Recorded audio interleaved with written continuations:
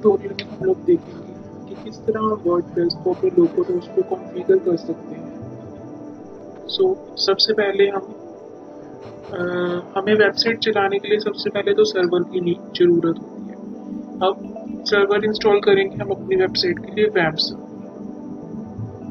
ये वैम सर्वर का लिंक है जो मैं आपको नीचे डिस्क्रिप्शन में दे दूँगी।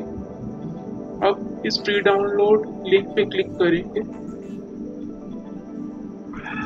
तो आपका वैम सर्वर डाउनलोड हो जाएगा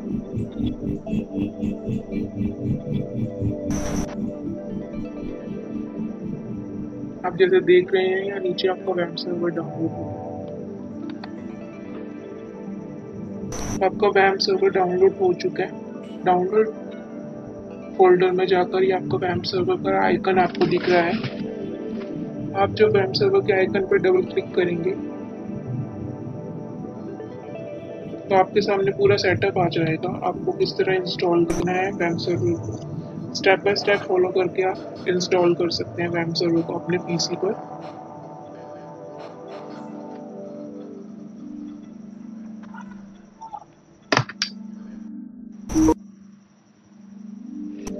आप यस पर क्लिक करें।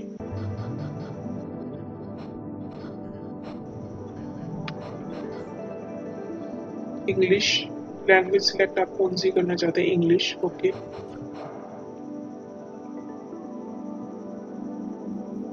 I accept that agreement उसके बाद नेक्स्ट पर क्लिक करें। फिर नेक्स्ट पर क्लिक करें। फिर नेक्स्ट पर क्लिक करें। नेक्स्ट इंस्टॉल अब जैसा कि आप देख रहे हैं कि वैम सर्वर की जो फ़ाइल है वो 209 एम की है 209 एम की है। तो इसे इंस्टॉल होने में थोड़ा सा टाइम लग जाएगा। तो वेट करें इंस्टॉल होने के लिए।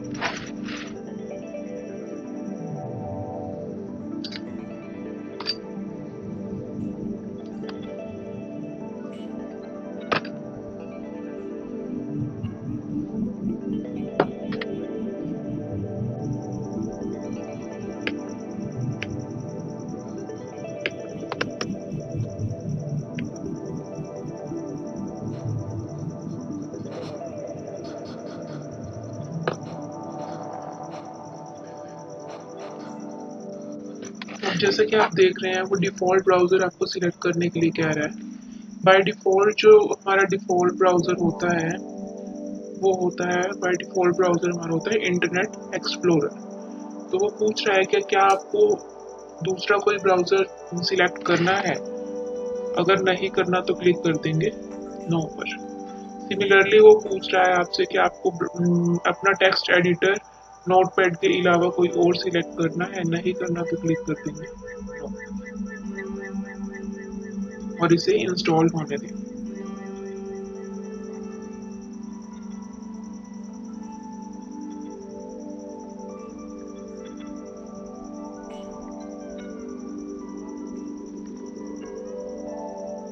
उसके बाद आपके पास ये स्क्रीन आएगी। तो इसमें थोड़ी वार्निंग्स और सब लिखा हुआ है। इसको रीड करना चाहें तो कर लें। बाकी इसके बाद आप नेक्स्ट पे क्लिक करें। और आपका ये सेटअप इंस्टॉल हो चुका है। आप फाइनली फिनिश पे क्लिक करें। अब अब हमें वर्डप्रेस डाउनलोड करना है। वर्डप्रेस डाउनलोड करने के लिए हम लोग वर्डप्रेस की ऑफिशियल वेबसाइट पर जाकर हम वर्डप्रेस डाउनलोड करेंगे। इस डाउनलोड वर्डप्रेस पे वर्डप्रेस जो है डाउनलोड हो रहा है। ये वर्डप्रेस हमारा डाउनलोड हो चुका है। तो आप डाउनलोड्स में जाकर देखेंगे तो आपको वर्ड प्रेस की एक जिप फ़ाइल दिखाई देगी। आप उस जिप फ़ाइल को एक्सट्रैक्ट करेंगे।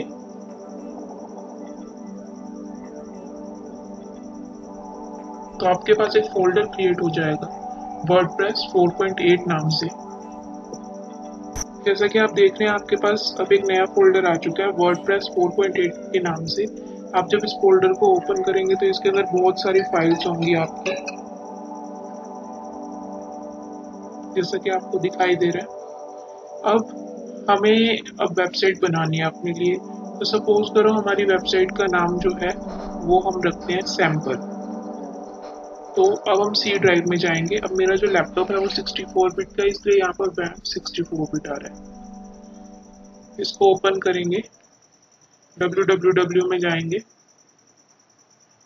एक नया फोल्डर बनाएँगे, उस नाम से, जिस नाम से आप अपनी वेबसाइट का नाम चाहते हैं।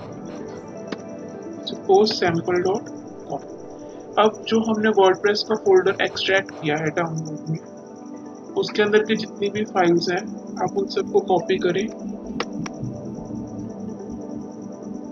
और सी ड्राइव वैम डब्ल्यू में सैंपल वाले फोल्डर में पेस्ट कर दीजिए।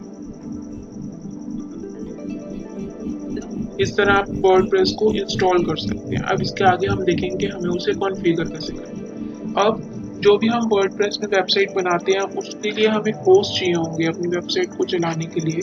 तो होस्ट को हम दो स्टेप्स में ऐड कर सकते हैं। उसके लिए सबसे पहले तो आप वैम सर्वर को ओपन कीजिए। वैम सर्वर पे और उसके बाद हम यस पे क्लिक करेंगे तो हमारा वैम सर्वर ओपन हो जाएगा आपको यहाँ पर दिखेगा अब जब फाइनली ये ग्रीन कलर का हो जाएगा इसका मतलब आप वैम सर्वर को यूज़ कर सकते हैं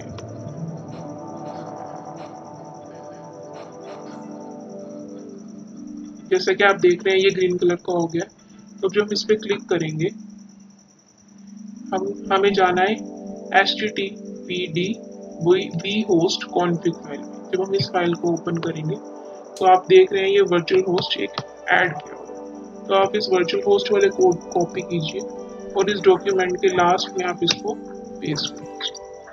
अब आपको इसमें क्या करना है कि जो भी आपने अपना फोल्डर का नाम रखा है, जो भी आप अपनी वेबसाइट का नाम रख रहे हैं, जैसे कि इसमें हमने रखा है सैंपल डॉट कॉम हम उस नाम को कॉपी करेंगे। और यहाँ पर पेस्ट कर देंगे लोकल होस्ट की जगह। इसी तरह डब्ल्यू डब्ल्यू डब्ल्यू के आगे स्लैश डाल के सैंपल और इधर भी सैंपल अब हम इस फ़ाइल को सेव कर देंगे। अब सेकंड स्टेप है हमें होस्ट फ़ाइल में एडिट करना। नोट पैड को हम एडमिन की तरह ओपन करेंगे। नोट पैड पर हमने राइट क्लिक किया। राइट क्लिक करने के बाद रन एस एडमिन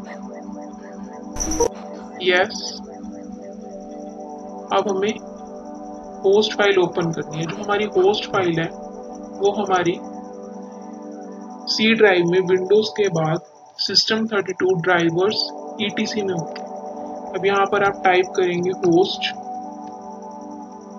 और एंटर आपकी ये होस्ट फ़ाइल ओपन हो जाएगी। अब आपको, आपका पहले इसमें लोकल होस्ट ऐड है तो आपको अपने लिए भी एक होस्ट ऐड करना है। कॉपी करना है इसे। हैश को छोड़ के हैश कमेंट के लिए यूज़ होता है। अब अपनी वेबसाइट का नाम, जो आपने फोल्डर का नाम दे रखा था। सैंपल डॉट अब इसे भी सेव कर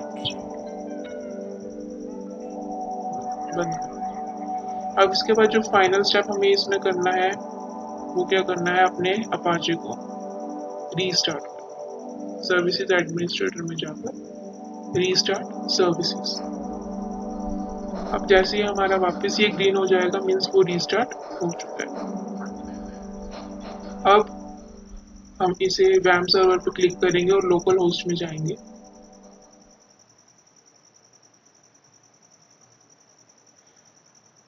जैसा कि आप देख पा रहे हैं, इस फ़ाइल के नीचे हमारा प्रोजेक्ट अब आ चुका है सैंपल डॉट जब आप इस पर क्लिक करेंगे तो आपका सैंपल डॉट ओपन कॉम नाम का प्रोजेक्ट ओपन होगा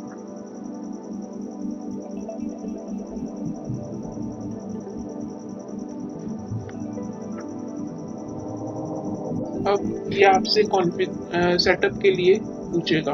आपको लैंग्वेज सिलेक्ट करनी है इंग्लिश अब ये आपसे मांग रहा है डाटाबेस का नाम डाटाबेस का यूज़र नेम और डाटाबेस का password database host database prefix अब इसके लिए हमें क्या करना पड़ेगा? जो भी हमें वेबसाइट चाहिए होती है, उसमें जो भी डाटा है, उसको सेव कराने के लिए हमें डाटाबेस चाहिए। तो डाटाबेस के लिए हम बैंक सर्वर पर जाएँगे और P H P my admin में डाटाबेस को क्रिएट करेंगे। बाय डिफ़ॉल्ट जो P H P my admin का यूज़र नेम है, वो रूट होता है और पासवर्ड जो है, वो खाली होता है। तो आप यूज़र नेम में रूट डालिए और पासवर्ड में खाली छोड़कर गो पर क्लिक करें।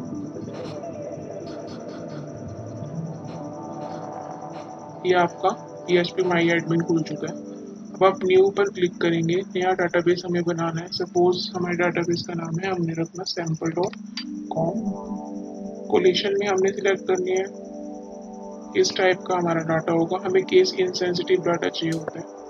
तो हम लेंगे U T eight general case insensitive C I का मतलब होता है केस इंसेंसिटिव और क्रिएट पे क्लिक करेंगे अब जैसा कि आप देख रहे हैं, हमारा डाटा बेस क्रिएट हो चुका है। अब इसे बंद कर दीजिए। अब लेट्स गो पे क्लिक करें। अब अपने डाटाबेस का नाम यहाँ पर ऐड करें। Sample dot underscore form user name हमने रखा था रूट और पासवर्ड में हमने कुछ भी नहीं डाला तो ये एम सबमिट अब इस पर क्लिक करेंगे रन एंड इंस्टॉल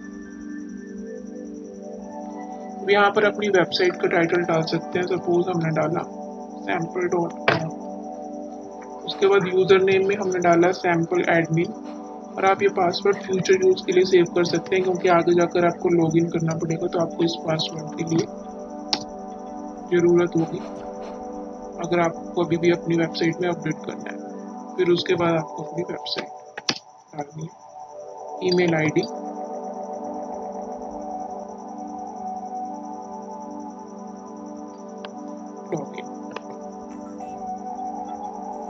लॉगिन करने के लिए आपको अपना यूज़र नेम डालना है। यूज़र नेम हमने लिया सैंपल एडमिन पासवर्ड जो भी अभी हमने लिया था, ये वाला। ये पासवर्ड हम कॉपी करेंगे और यहाँ पर पेस्ट कर देंगे अब लॉगिन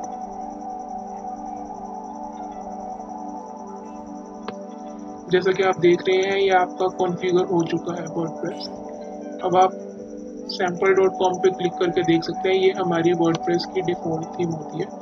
अब आप अपनी रिक्वायरमेंट के अकॉर्डिंग जैसा आपको चाहिए, वैसे चेंजेस कर सकते हैं डैशबोर्ड में जाकर थैंक यू ये वीडियो देखने के लिए और सब्सक्राइब लाइक और कमेंट करना ना भूलें। थैंक्स